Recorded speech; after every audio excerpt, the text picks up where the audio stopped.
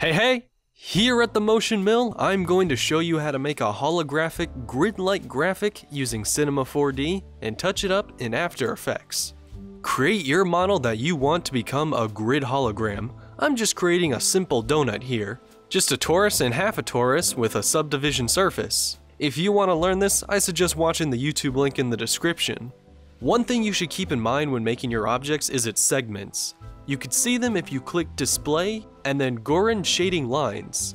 These lines will be what your grid will look like. If you have multiple objects, their lines might overlap, so we need to combine the objects. To do this, click and hold this icon and then select Bool. Place the two objects under your bool to make it apparent. With the bool selected, change the boolean type to A union B, and then check Create Single Object. This will get rid of some extraneous segments. If you have more than two objects, you may have to do this bool technique multiple times. When you're satisfied, click and hold this icon and then select Atom Array. Drag your bool under the atom array to make it a child to the array. Select the atom array and make sure the cylinder radius and sphere radius are the same size. It may not look great right now, but we'll fix it later in After Effects. I want the hologram display to spin. To do that, have the coordinates tab of your atom array selected and click on this circle on whatever rotation axis you desire to create a keyframe. Move this blue cursor further down your timeline. Next change the value inside the rotation to 360 and hit the circle again. If you want the rotation to have a constant pace, click on the window tab and select timeline F curve. Select both points on your keyframe curve and click this arc called linear.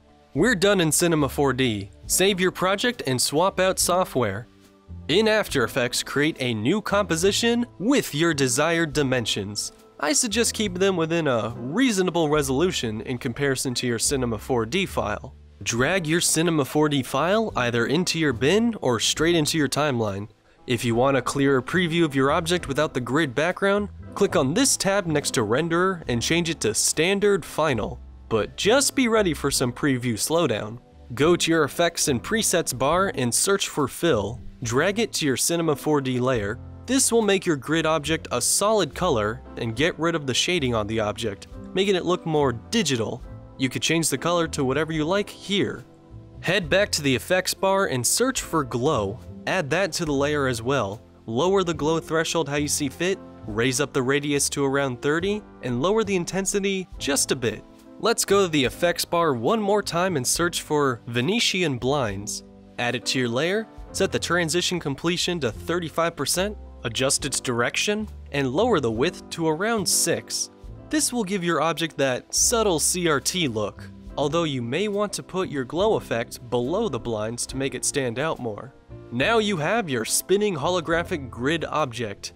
If you found this tutorial helpful, let me know, and be on the lookout for more here in the Motion Mill.